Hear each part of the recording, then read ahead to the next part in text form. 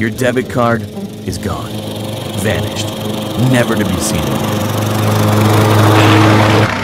At least you have the WTB mobile app from Washington Trust, so you can report your debit card lost or stolen and immediately block any unauthorized purchases. Then just swing into any branch and get your new card on the spot.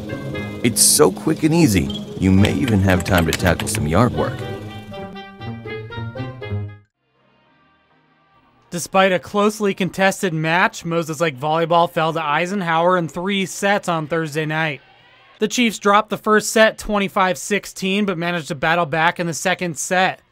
But Moses Lake couldn't convert on set point at 27 26, and the Cadets scored on three straight kills to take the set 29 27.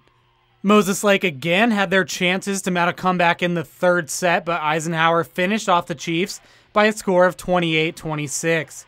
The Chiefs had just 13 kills in the game, including a team high four from Ellie Johnson. Eisenhower's Ashton Houghton had more kills herself than Moses Lake with 14, and Chandler Cree added 9 kills of her own. Moses Lake is now 1 and 4 in Big 9 play, 1 and 5 overall. They'll be back at home on Tuesday for a match against Sunnyside at 7 p.m.